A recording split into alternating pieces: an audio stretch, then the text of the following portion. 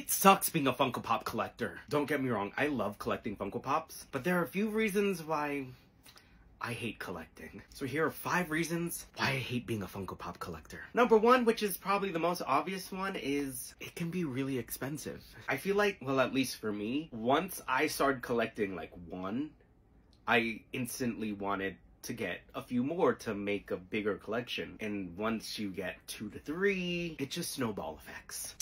And uh, now I got all of this. Reason number two, Funko is always releasing new pops, so I'm constantly wanting to get more pops. And I guess that's why it's called an addiction. Reason number three, once you start buying more and more, you end up running out of space. Start collecting and collecting and collecting, and now I'm at a point where I have like pops randomly on my floor. But, but moving on to reason number four is there's a constant battle of should you be an out-of-box collector or an in-box collector?